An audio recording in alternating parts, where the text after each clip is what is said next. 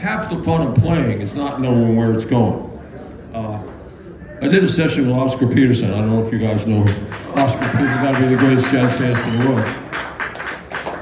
And uh, at Roland, we gave him a synthesizer, and he had all these cool sounds, and we were doing. Uh, see, these are a few of my favorite things. So we were recording the record. We were about eight minutes into it, and the engineer's going. And Oscar Peterson, he's playing away. The engineer's going.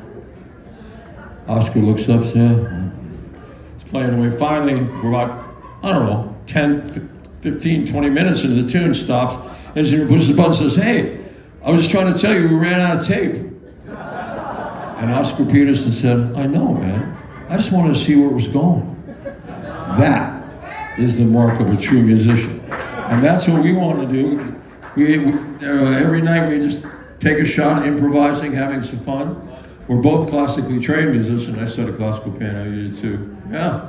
And so we have a love for Beethoven and, and some of the great writers. So we try to incorporate some of those melodies and stuff, as you've already heard in some of the stuff we did tonight. So uh, James and I are just going to have some fun and see what we can cook up.